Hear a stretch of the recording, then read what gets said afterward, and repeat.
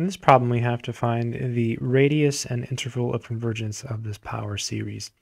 So the way we're going to do this is we're going to use something called the geometric series test. So the geometric series test says if you have something like, say, a times r to the k, and we can start this sum anywhere. Let's just go ahead and start it at 0 so that it matches uh, what we have in the problem. If the absolute value of r is less than 1, then we have convergence of the infinite series. And uh, if the absolute value of r is greater than or equal to 1, then we have divergence of this infinite series. So here we can easily identify a as 1, so it's not really relevant. Uh, what really matters is the r. And you can see r here is equal to 2x. So we know that this series here will converge if the absolute value of 2x is less than 1, right? That's by this test here. This is called the geometric series test, GST, geometric, geometric series test. So this will give us convergence. Um, we can break this up into two pieces. You can take the absolute value of 2 and the absolute value of x, but the absolute value of 2 is 2, so this is just 2 absolute value of x. So you can always pull out uh, you know, positive numbers outside of absolute values. Then we can divide by 2, so we end up with the absolute value of x um, less than 1 half. So the next step uh, is an algebraic one. It's from memory.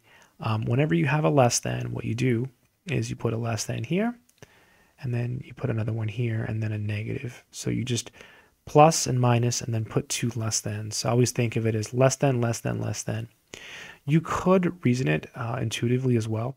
Uh, the absolute value of x is the distance between x and 0. So we're saying that x is a number whose distance from 0 is less than 1 half. Therefore, it must be between the numbers negative 1 half and 1 half. So, or you can just uh, memorize it.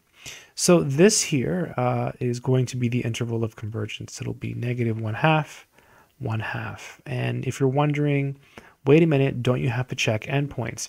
The answer is no, um, because we use the geometric series test. So it converges only when um, the absolute value of r is less than 1. Otherwise, for all other cases, it will diverge. In particular, it will diverge if the absolute value of r is equal to 1. And just for, just, you know, to enlighten you, let's pretend that we had that case, just so you are convinced that the endpoints don't need to be checked. Well, we can do the same thing here. And then we get this. And then when we drop the absolute value, we get a plus or minus. So we know it's going to diverge at uh, these numbers, right? So, but we knew that already. So because you know it converges only when this happens. So the moral is that whenever you use the geometric series test, you never have to check the endpoints. Uh, typically, people use the ratio test because this test only works when it's geometric, and so typically people check the endpoints. So we took a very, very powerful shortcut. Uh, as for the radius of convergence, um, let me show you how to figure that out. So we can think of this as the infinite sum as k runs from 0 to infinity of 2 to the k times x to the k. And so the generic form of a power series is the following. It's uh, a sub k times x minus c to the k, where c is called the center of the power series. So in this case, there's no c. It's really it's really x minus 0 to the k. It really looks like this.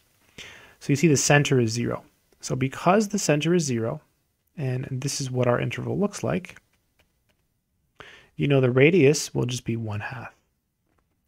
Now, there's a shorter way to do this, right? You just take uh, the length of this interval, which is 1, and divide it by 2, and you get 1 half. so you can you can always do that. Just figure out how long this interval is and divide it by 2. You basically subtract this number from this number and divide by 2, and you'll always get the radius. So I like drawing a picture and thinking about how it matches the form of a power series. Uh, that way it makes it more about the form. I hope this video has been helpful to you in some way. Good luck.